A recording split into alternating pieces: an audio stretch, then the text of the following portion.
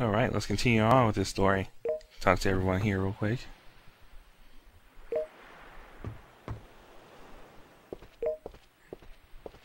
And of course you gotta talk to everybody at least once before you trigger the scenes to the next part. So once again, we're out on the water. Yeah, the thing about the water is you can really see the uh, lines of it. You can see where your pattern repeats. Pretty obvious. But at least a decent, a decent effort nevertheless. yeah, as you can see, we're gonna also be getting into battles. We're gonna get into two of them, and it's the same things we fought before. So there's no point showing those again.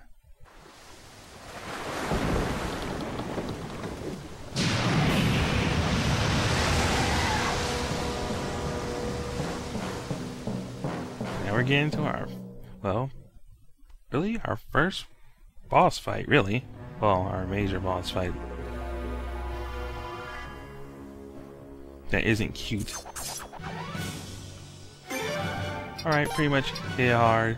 Definitely want to use the, or uh, definitely want to use Eternal Ordeal. And if you have, of course, Tal, who has Clay Guardian, you definitely want to put that up.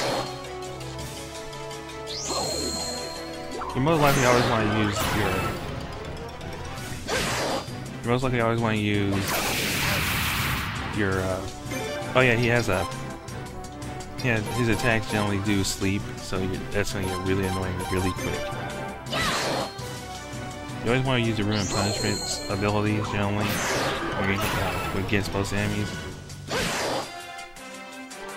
He has a high magical defense, then of course you want to stab in the face. Course, there's really no point in trying to wake up everyone. Just keep the hit, just keep the damage on them, and then our main character should be good. Uh, sleep usually recovers after three rounds anyway, or until they're dead. Now use a Mega Missile just in case he hits the main character.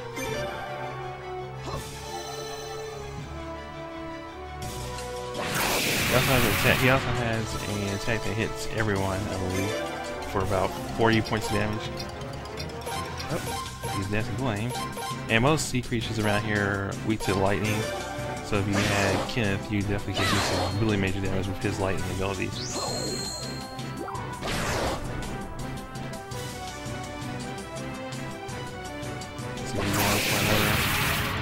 Yeah, you can see constant sleep. Just deal with the fact that your heavy part is probably going to be out the battle at one time.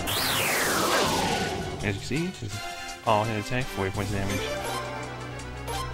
That's why I just say keep everyone's HP up, you should be fine.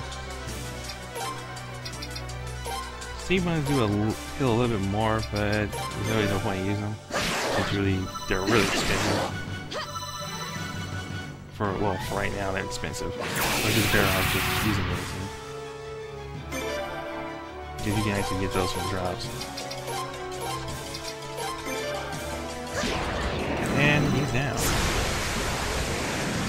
Still pretty simple, easy fight.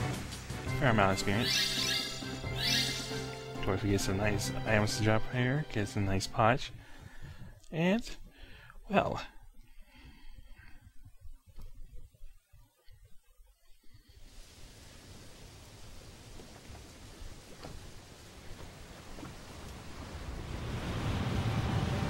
Oh, that's just random.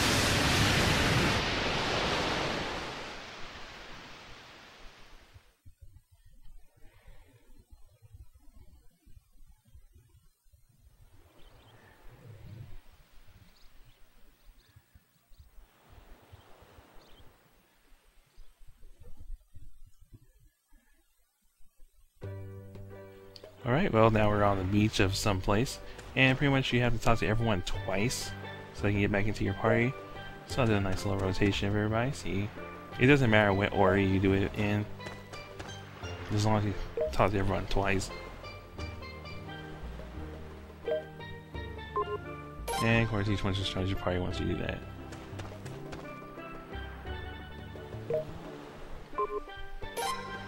All into our party, and finally get Jill up.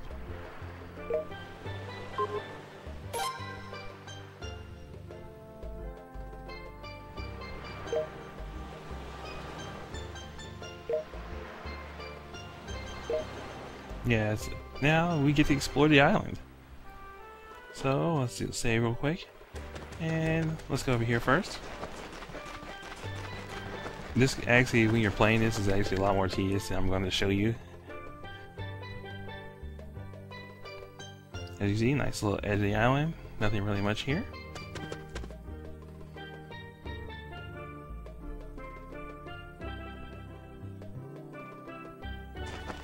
And we'll go into this forest area here.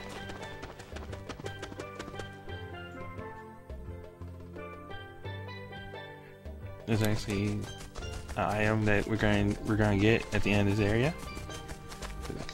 walk up these trees. Well, walk up this walkway through some more trees. And up on the hill. You see over to our right, there's a treasure chest.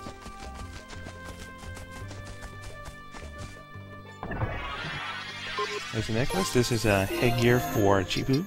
So we just put that on right now. I believe he's the only one in the party who can actually wear it.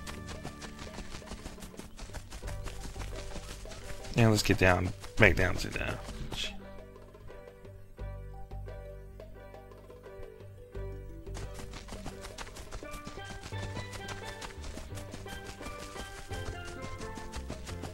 Of course, you have the stereotypical tropical theme. Hey, we're on a beach after all.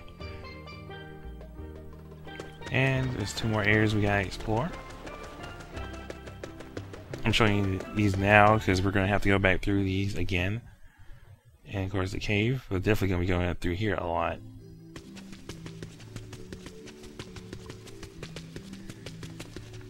And this cave has three sections to it.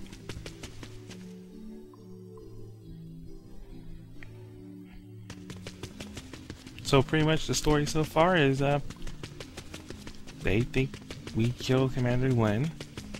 No trial, no investigation or anything, just send us on our way. We've had two of our friends tag along and a kobold. Well, a nay kobold. Which are uh, people who haven't played this weekend in the series. There's two now. There's two different kinds of kobolds: nay kobolds and actual kobolds. Kobolds are dog-looking people, while nay kobolds, of course, are cat people. And these cat people, as you heard from Chiepoo, they like cheese. And of course the last area we have is the Boulder Shade. And we've done exploring.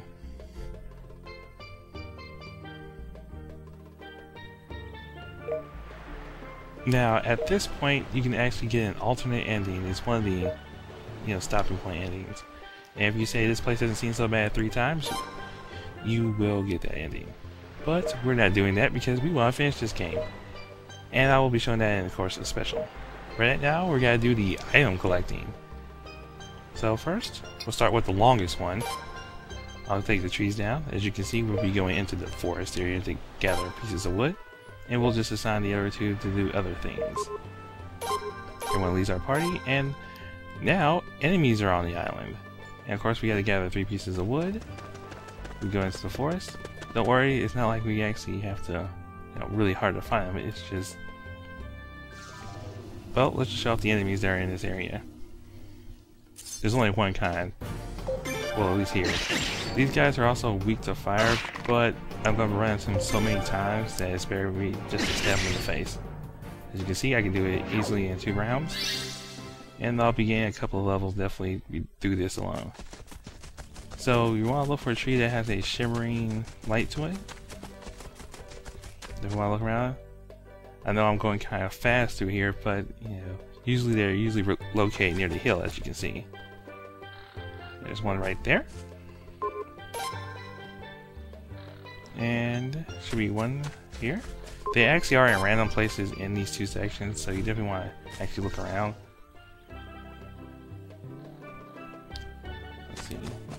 See it. Yes, it's not in this section. So we gotta go back one section, and we'll be getting... There it is. So you completely missed that one. Because usually they're near the hill, but hey, this time they weren't.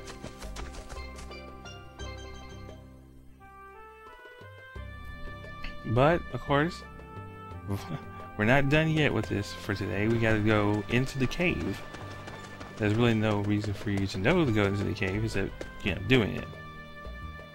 But before that, let's see what Chiepoo has to sell. Any more items? Nope. And just the items we had before. We'll restock. And we'll go into the cave.